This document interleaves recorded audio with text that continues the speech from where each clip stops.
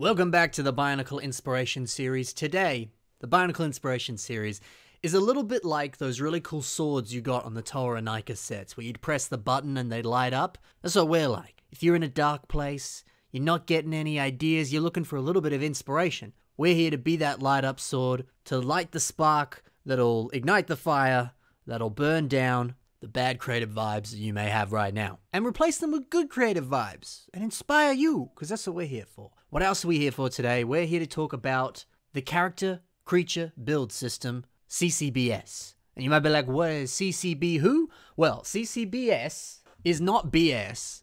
It's all the different shells, the ball socket connections, all that sort of stuff that appeared in this uh, Hero Factory 2.0 and then onwards into the modern day with G2 Bionicle.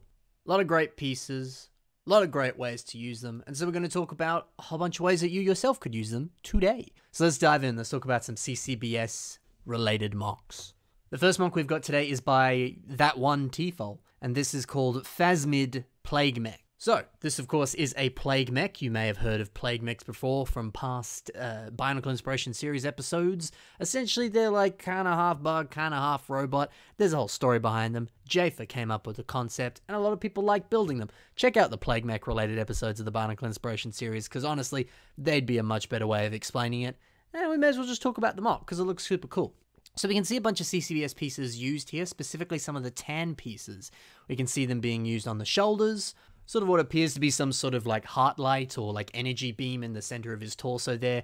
Uh, there's another sort of um, shoulder chest armor piece being used there that's also a CCBS part. So kind of the majority of the tan here are CCBS pieces. So there you go, that's what they look like, just in case you're not sure. But hey, they're pretty cool.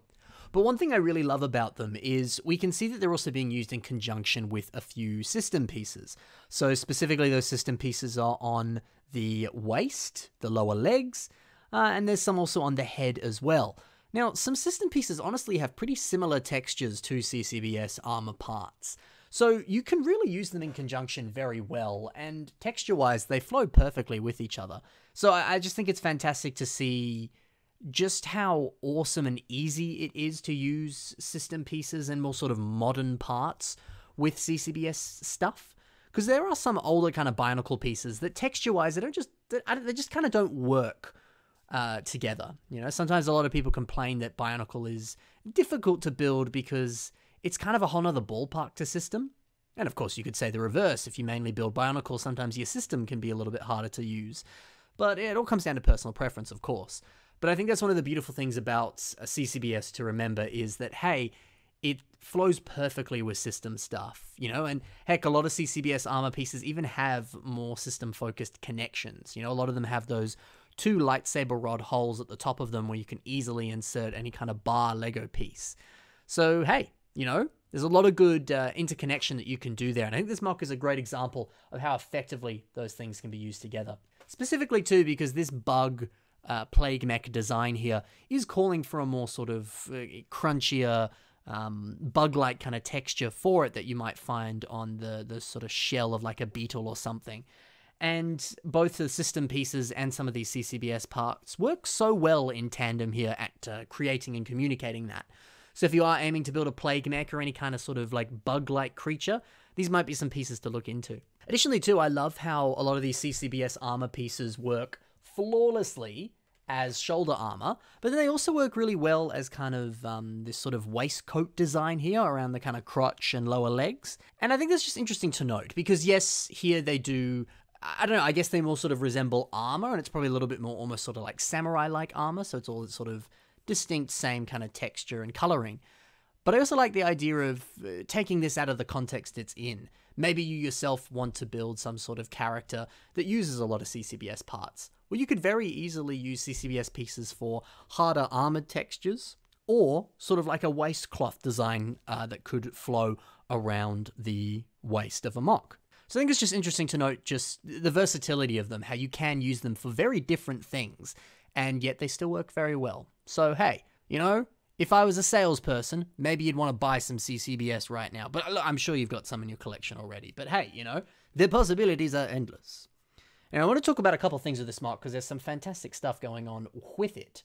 So one thing I love is the arms and the lower legs here as well, how they use these transgreen beam pieces. So some of these appear to just be like lightsaber rods, and then others appear to be some of the larger, longer kind of shooter pieces that you get on some like Star Wars sets and a few other things as well. And I just I love how that kind of flows in there, just introducing a nice little pop of color, but also just how the, the majority of the limbs are kind of built around that element there.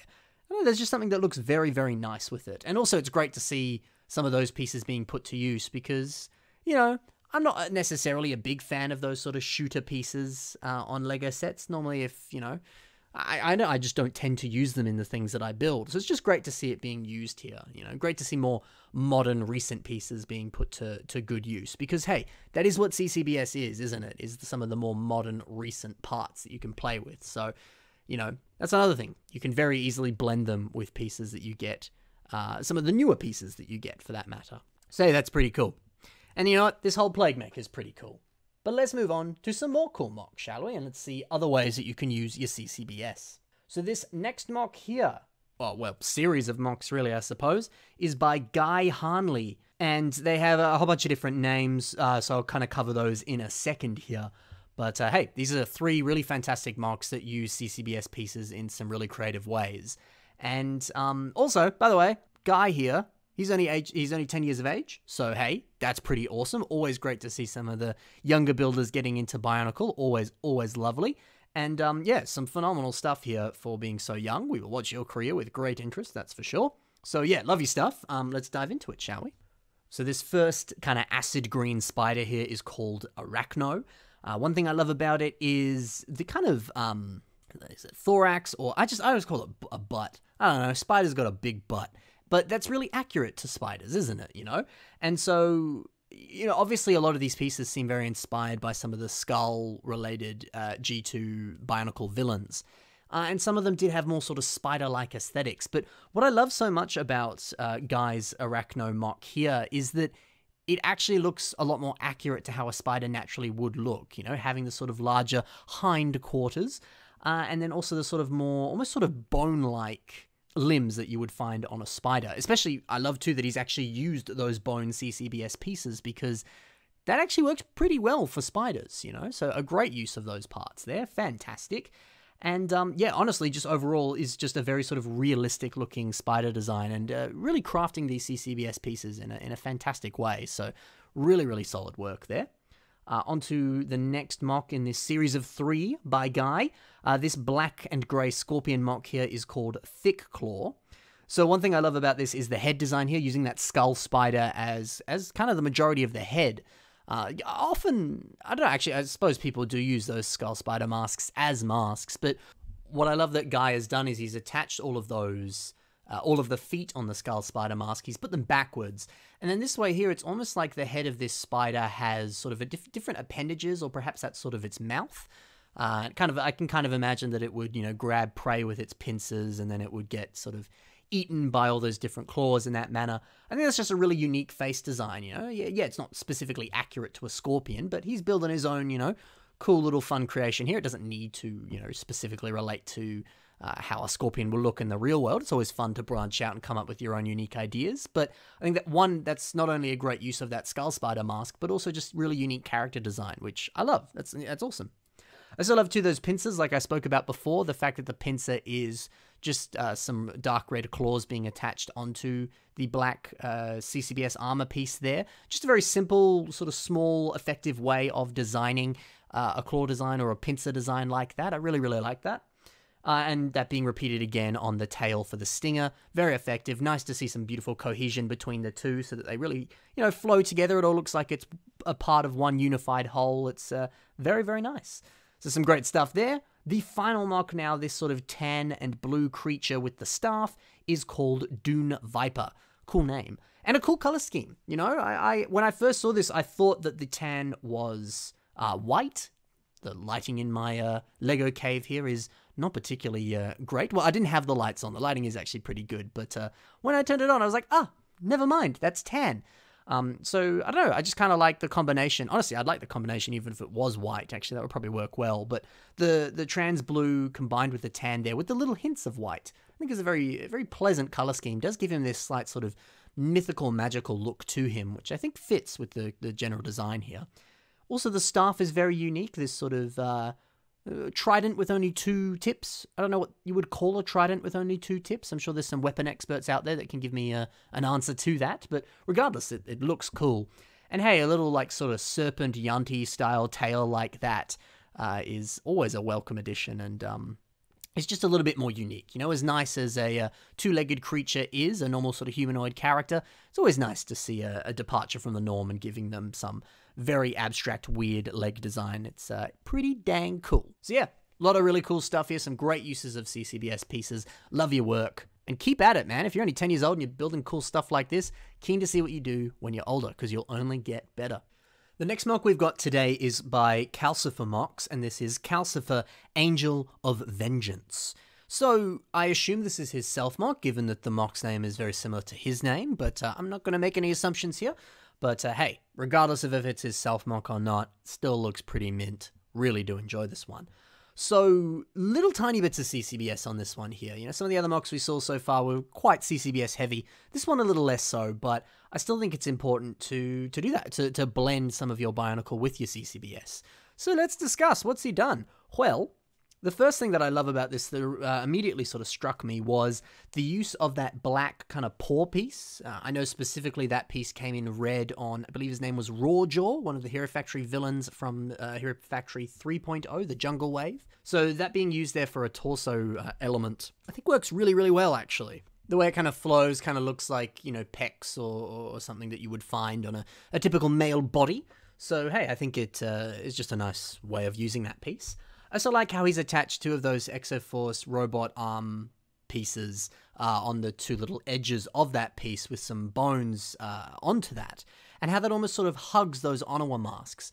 I don't know if those Onua masks are actually attached through uh, those Exoforce arms, if it's almost sort of a friction connection and they're actually just sort of holding it in place. There's no actual physical connection. It may not be, it's a little hard to say. I would imagine that Onua mask is actually attached uh, onto like the shoulder or something. But um, hey, it still looks cool. The way those pieces sort of uh, intertwine between uh, one another, I think is just very effective and very nice. So uh, I enjoy that. This whole sort of general kind of um, shoulder torso area there, I think, is really well done. Uh, additionally, some more CCBS pieces in dark red being used on the upper arms and the oh sorry the lower arms and the upper legs. So honestly, using you know, sort of that size of CCBS armor, or kind of any size of CCBS armor for the most part, it's pretty much just always a really good go to when you're building lower arms and upper legs. Those pieces, at least in my opinion, always work really well. Because I feel like the natural kind of look of them does look a lot like the the way that a thigh looks. And they also look very similar to sort of like gauntlets of some kind, or sort of, you know, um, Vambraces, some type of wrist armor. Uh, so, at least in my opinion, I personally think that, hey, if you're struggling with upper legs, lower arms, grab some of those CCBS pieces because they're just a really good go to. Plus, I do actually have some videos on upper arm instructions. There was uh, 10 of them in that video. So, hey, if you are really struggling and you, you need something there, they're a little bit of an older video at this point, but um, they shouldn't be too hard to find if you give them a Google there. Uh, so uh, you can check those ones out if if you're looking for a bit of inspiration on uh, on uh, arms and legs and things. There are instructions that I posted for that, and there'll actually be some more of those videos fairly soon as well. So you can stay tuned for that. Uh, but that's neither here nor there. Uh, another thing I love about this, and I, I use the term CCBS with this very loosely, but there is kind of another use of a CCBS piece, which is the cape on this mark. And you might be like, ah, that's not really a CCBS piece, but that cape comes in the Captain Phasma Star Wars Ultra Build set and it's just sort of a newer piece, you know, and it works with a very CCBS heavy mm, uh, set. So yeah, I I wouldn't necessarily classify that as a CCBS piece, but hey, if you're using CCBS pieces, you're gonna still use the other elements that kind of came with it, or elements that work with it, or just sort of in general newer Lego pieces. So I think that's always important to think about is you know, what are some newer pieces? What are pieces that just would naturally work well with CCBS? Or heck, have you got any cloth pieces? Because cloth always looks good on a Bionicle. So, you know, see what works, pair it up with your CCBS, and see if it's something that uh, is up your alley, you know? Play around with some of those pieces that came in those CCBS sets that you maybe wouldn't classify as CCBS. You know, like these capes here. See what works. See how it works for you. Uh, one thing I also love about this MOC, and it's not really CCBS, but the wings on this. So it uses a whole bunch of very small kind of Technic panel pieces. Uh, check a whole variety of your different Technic sets, even if you just kind of go on Bricklink or Brickset and kind of browse a bunch of Technic sets, you can see what sort of sets had the pieces like this. Because uh, they come in a whole variety of different colors, shapes, and sizes and stuff, but they're very uh, useful and versatile for a Bionicle mock. And this is a great example of just how versatile and awesome they can look because, man, what a cool wing design. And additionally, too, I've said this before, you know, if you're looking for a lot of pieces that you can use in a uh, Bionicle MOC that you're making, obviously Bionicle or CCBS as a concept, Constraction as a concept, you can't really buy it at stores anymore because LEGO doesn't make any constraction stuff at the moment, unfortunately the main place you'd be able to buy that sort of stuff is, uh, you know, just Facebook Marketplace, your eBays, your Bricklinks, your Brick Owls, all those sorts of places like that. But never forget Technic, because you can use Technic stuff with a Bionicle or Constraction MOC, or a CCBS Heavy MOC for that matter, because these are Technic panel pieces. They came in Technic sets. You know, study your Technic sets when you're at the shops, because you can use those pieces in some Bionicle stuff. So, uh, always worth a second glance always look uh, always worth considering buying you know i'm not gonna i'm not gonna force you to go buy some technic stuff but hey if you look at a technic set and you go i could use those pieces for wings or i could use it in some fashion maybe it's worth investing you know so yeah fantastic looking wing design and honestly just a fantastic looking MOC that uses ccbs in more subtle but beautiful ways next MOC now this one's a pretty cool one it's by the traveling skull and it's general grievous it seems the travelling skull knows the way to my heart because he's made a Star Wars MOC, which, you know, love me my Star Wars. So, hey, awesome. But yes, it's, uh, it's our boy General Grievous looking great. If you are building a CCBS mock, never forget, just like I spoke about before with the Captain Phasma set, there's a whole plethora of the Star Wars Ultra Build sets that you can play with. So why not revamp one much like this? And I mean, heck, that General Grievous set, you know, a lot of the different Star Wars Ultra Build sets, you find them in your Targets or on uh, you know, Goodwill shelves or clearance, you know, uh, areas and stuff. Unfortunately, because there wasn't always a huge demand for them, which is a shame. Because hey, they had some pretty cool pieces. But you know, if you do find them on clearance, that means you can get them at some pretty cheap prices. But man, General Grievous, he actually sold pretty well. He was never in those clearance bins. But uh, hey, check your stores next time you're there, because if you can find some of those sets on clearance, it always feels pretty good when you get a good deal on a, on a constraction related set, doesn't it? So, hey, check them out. But General Grievous, easily one of the coolest from the uh, whole wave of Star Wars Ultra Build sets. So why not revamp him and put your own unique spin on him? Maybe even make him a little bit more accurate, which this one here is a little bit more accurate for General Grievous, you know? He specifically has a more sort of focused area for General Grievous's sort of um, organ sac that Kenobi rips open and shoots later in Revenge of the Sith. Uh, weird, but awesome. And um, additionally, too, he's given him a cape, which is definitely a fine addition to this. Uh, this it's not really a collection, but you know I'm going to force that Star Wars quote in here if I can. Um, it really works. It really works well. The original set didn't come with a cape, so I assume this is a more sort of custom cape in that regard. But um, hey, works really well and really, really complements this mock, That's for sure. I like too that this mock doesn't have the four arms, which of course General Grievous can uh, have, but he also can just have the two arms because they separate. But, um, you know, it, it can be a little bit more um, difficult to design the four-arm concept and then have it, you know, revert back into the two-arm concept.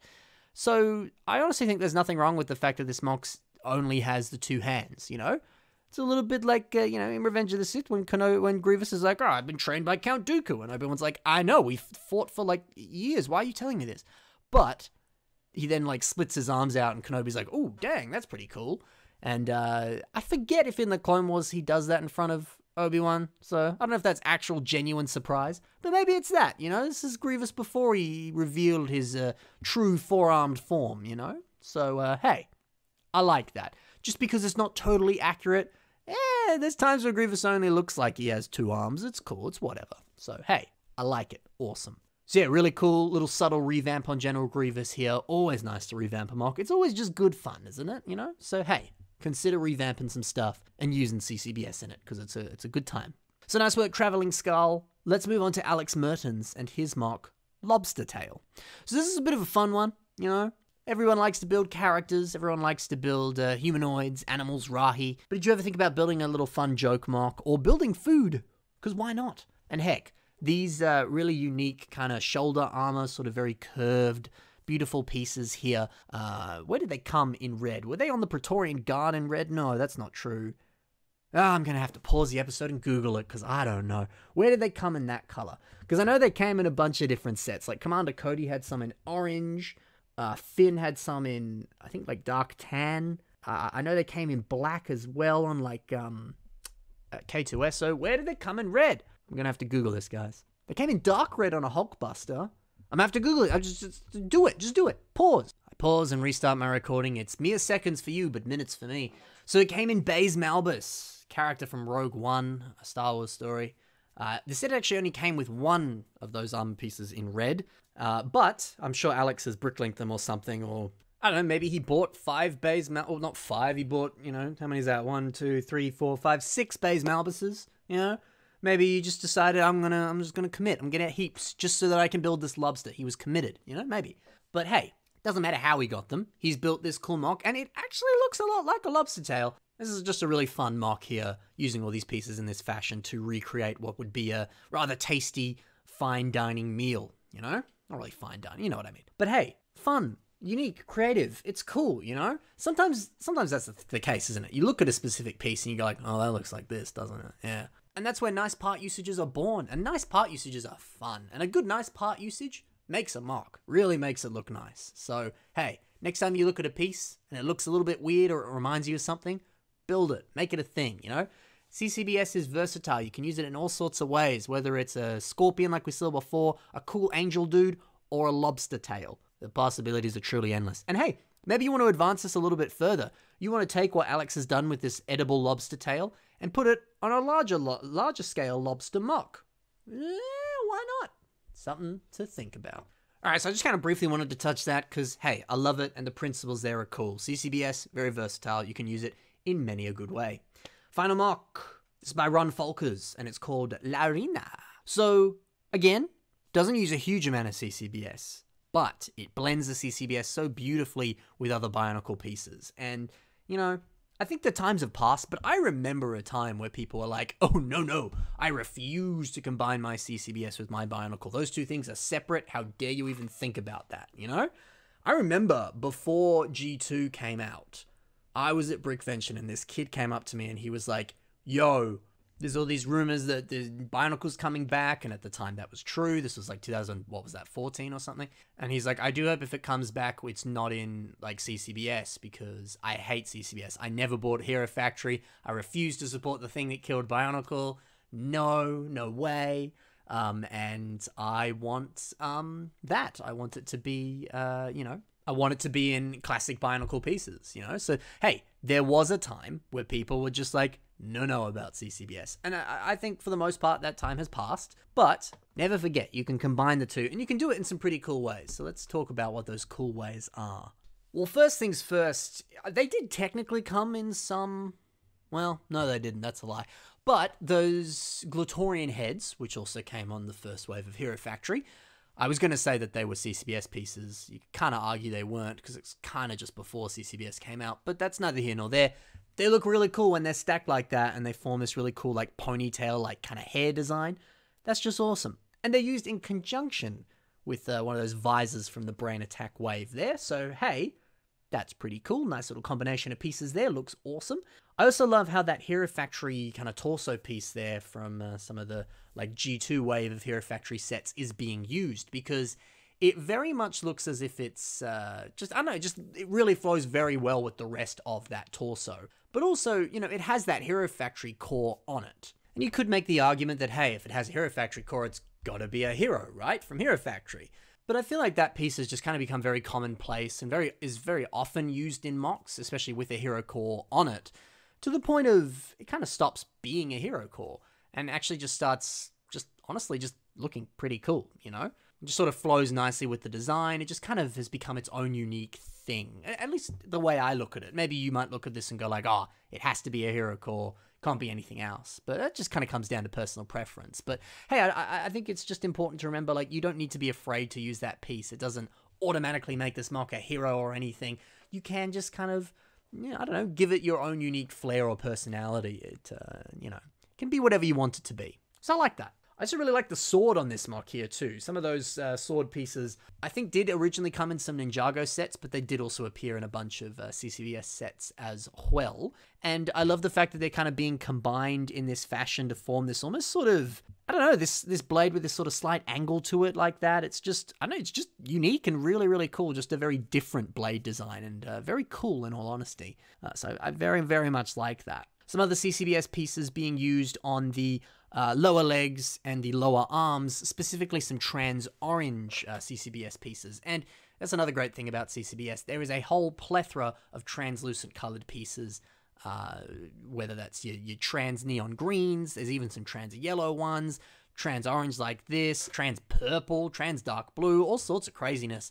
So if you want to play around with some translucent colors, CCBS is there for you to do so. Um, so hey, definitely worth playing around with. And here it works pretty well. Never stray away from those translucent colors. They're they're honestly pretty cool. So hey, this is a pretty cool mock. Got some nice uh, little areas of blending CCBS with some Bionicle. It's really cool. It's really cool indeed. So that's it for this episode of the Bionicle Inspiration series. I hope you enjoyed all the mocks you saw today. And hey, maybe you've uh, well now now that we've started to look at CCBS a little bit, maybe you want to play around with some yourself. And if you do, be sure to let me know. I'd love to see what you build with some CCBS. So where can you let me know if you've built some cool stuff with CCBS? Well, I have my links to my social media in the description below. You can always message me there if you so please.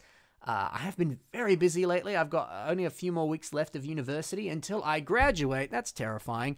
Uh, so people have been messaging me stuff on like Discord and social media and a few other places, and I've taken my sweet time to respond. I wholeheartedly apologize. I've been a busy beaver, but I'll reply. Don't worry. I, I tend to reply to most messages I get anyway, so there you go. Um, additionally, in the description below are links to the mocks that you saw in today's episode. So if you're like, these builders are pretty cool, you can check out some of the stuff that they've done. Sometimes submitted emails don't always have links to where they are, so uh, if you have thoughts on them, then maybe you can share them on Discord or something and uh, maybe they'll see it there.